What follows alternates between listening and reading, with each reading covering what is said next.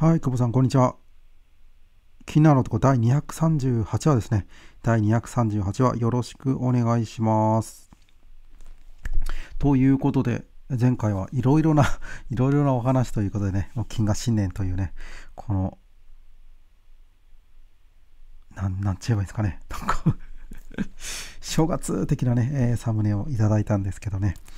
はい、ということで、えー、いろんなお話を聞かせていただき、いただいたんですけれども、えっと、そこで、えっと、また感じたことがあったんで、少し、こちらかな、話そうかなと思うんですけど、まあ、人生はその稼げないドラマの連続のようなものっていうね、なんかドラ、ドラマ、ドラ、この表現自体がなんか、なんか綺麗、綺麗言葉になっちゃってるんですけど、初めは皆その稼げないところからスタートしたという事実っていうところをもう一回そのなんか初心時を忘れるべからずじゃないですけどなんかそこをすごく感じてるんですよね今。うんやっぱ初めの頃ってどうしても稼げなかった。まあ自分の話、自分で言うと本当に稼げない時間があって、まあ、そこでやっぱり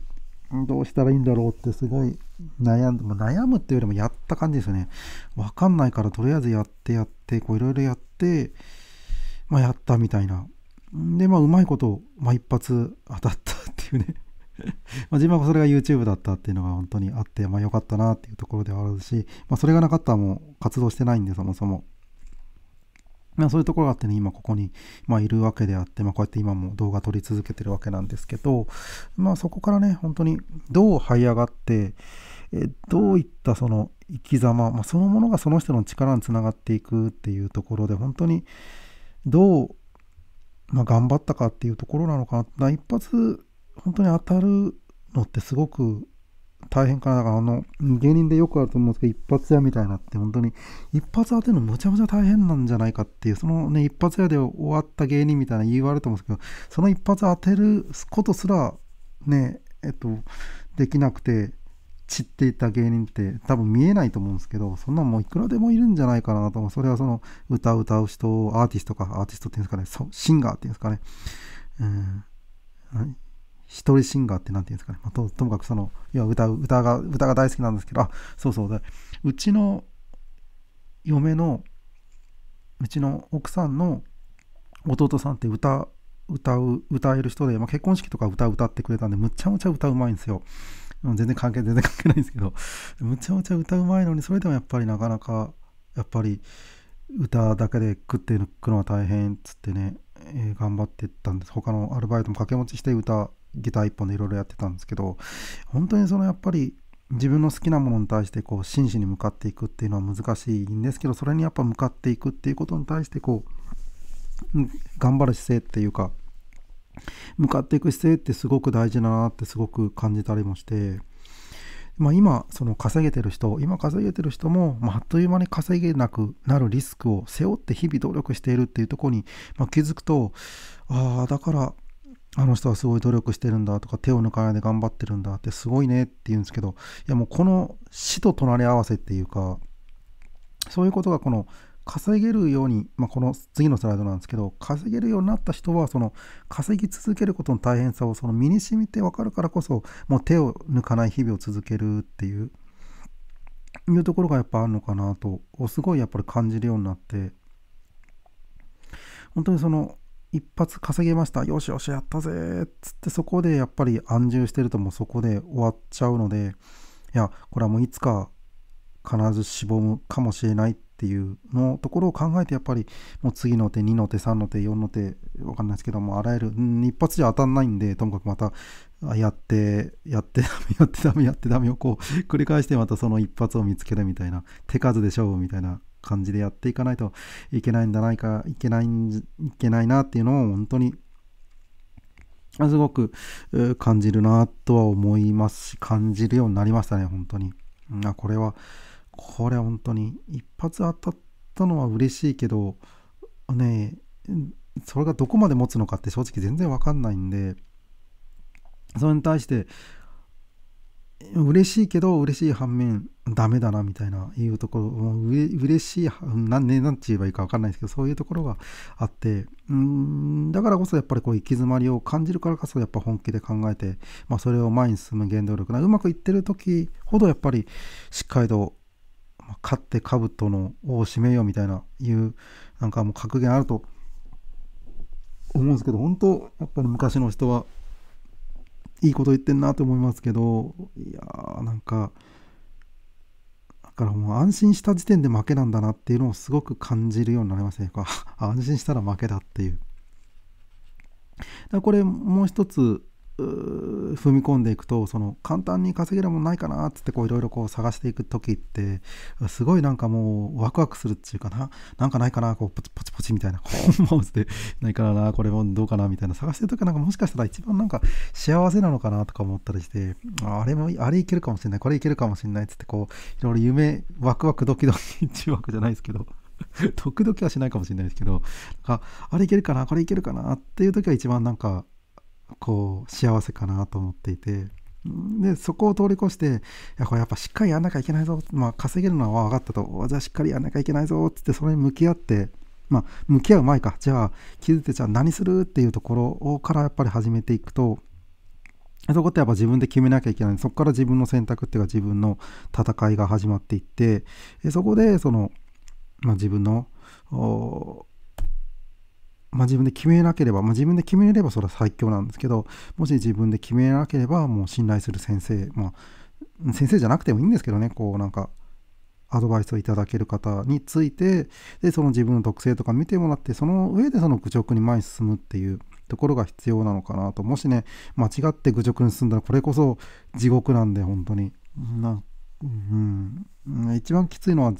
自分がこれでいけるぞっつってむちゃむちゃ頑張ったけど全然なんか違うとこに行っちゃったみたいなのがもうそれむちゃ怖いなとは思ったりまして、うん、だからやっぱ今稼げてる人についていくっていうことをしないと本当に恐ろしい事態になるっていう時間もなかなか取れないと思うんで、まあ、そういうこともなんかすごく感じるなと思ったりましてその今稼げてないっていうことはもうここからがなんか事実ばっかりを述べちゃうんですけど今稼げてないということは自分の判断が誤っていたということっていうねもうこの事実っていうのが認めたくはないけれど認めないと変われないそして変われないと稼げないっていうだから今の現実から逆算していくともうこういう公式が成り立ってしまうんですねどうしたって。ね、これを人から言われるともうねえお前なんだよみたいな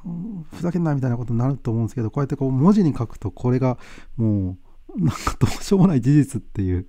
今稼げてないっていうことは自分の判断が誤っていたと。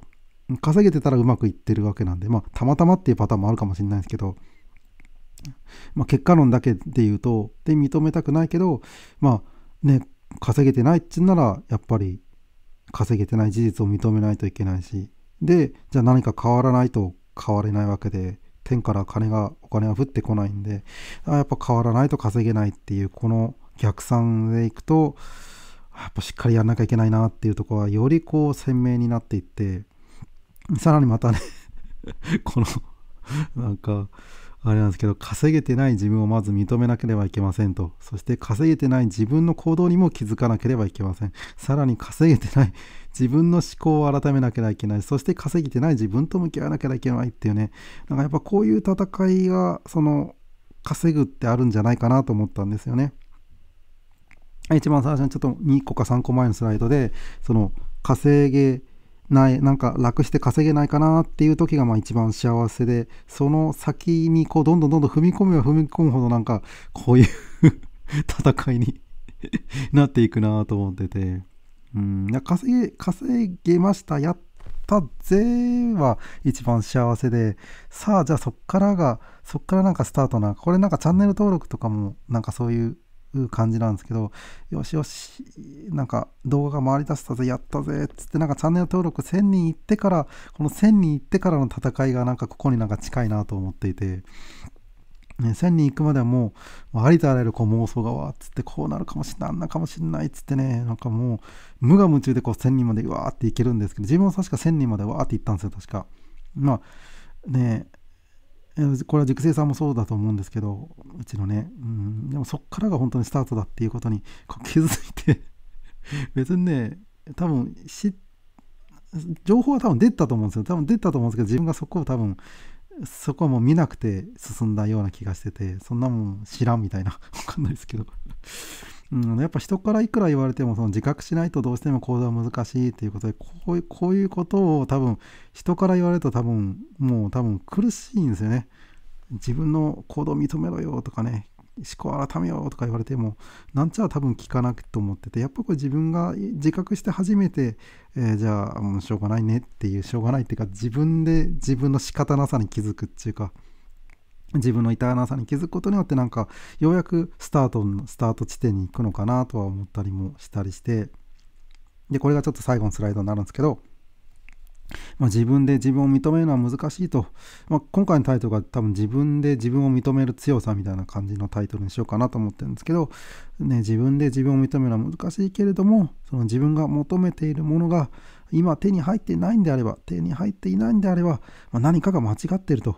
まあ、それはもしかしたら時代が早すぎたのかもしれないしもうそもそもその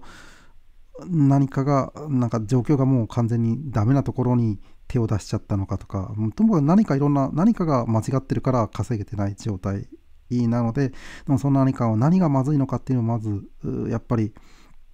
考える必要があるのかな。それは人か人が人からあの稼げてる人から見たらあそれは違うよって一言言われて気づく場合もあるしでもそれを人から言われてもやっぱり認めたくない自分はね今まで積み上げてきたものがあるんでやっぱそれはちょっとみたいな感じになったりもしてここって本当に自分でどれだけ一生懸命考える時間取れるかなっていうところがやっぱりっていうのをすごく感じましたね。やっぱり自分を認めるってすごい大変で特にね稼げてない自分を認めるなんて絶対認めたくないと思うんですけどでもそこを認めないと前に進めないなとか思ったりして認めたらじゃああまあしゃあないなっていうで自分の行動をもう一回振り返ってみてあれが悪かったのかまあ後悔ずっと後悔の話をしてるんですけどその後悔すらもその後悔に行かないみたいな後悔うんなんか悪かったかを認めないとやっぱ後悔にならないのかなとか思ったりしてなんかこう本当に自分で自分を認めるっていうことをこれをやれる人はやっぱり本当に強いなと思うしあ自分がもうダメだったなっていうところをこう認めたらまあ笑い話にもできたりするしまあしょうがないよく考えたらダメだったよねって言えるとなんかそれは強さなのかなと思ったりもしますねはい。ということでね自分が今求めてるものが本当に手に入ってるのかっていうとこをこう胸に手を合わせて当ててか胸に手を当てて考えてみてそれでね、え、何か間違っているんじゃないかっていうところまでいくとなんかこう人変われるのかなと思ったりもいたしましたね。はいということで金河新年 金河新年のね いろいろっていうね久保さんのお話からなんかこういう話でちょっといろいろ気づきを得たもので、えー、お返事させていただきました。ということで気になる男第238話ですね、えー、終わっていこうかと思います。次回も久保さん239はよろしくお願いします。はい、ということで終わっていきます。